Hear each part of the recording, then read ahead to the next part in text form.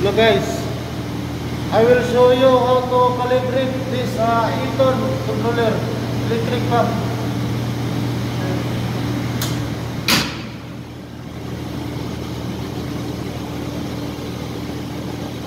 This pressure 226.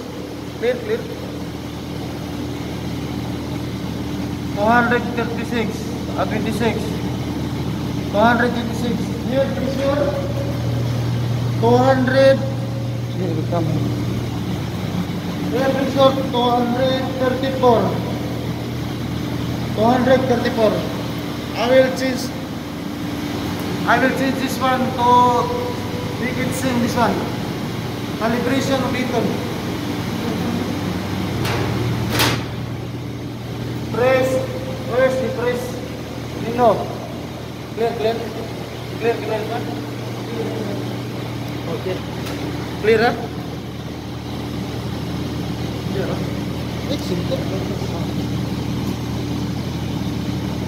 Ah, like this. Okay, steady. Steady like that. Okay, look, look. Okay, okay. First, you press this one. Mino. After you bring it down, find the system configuration menu. After you press up, they're asking password. Password is one like this. One, one, two, three, four. Okay? Okay now. After you bring calibration, calib calibrate pressure transducer.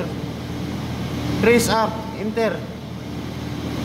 After you select this one, calibrate using current pressure. Bring up. Like this. Press enter. This one 226. The pressure, current pressure is 234. We bring this one 234. Very simple. After you press up, calibrate complete. Calibrate complete. Okay now, you press reset. Okay now, 234. Okay guys. Thank you guys. Don't forget to subscribe my channel.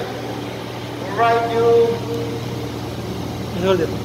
Rambago, shout out. Mirrors. Mirrors, shout out Mirrors. This is my old partners. Right. This is the electric pump.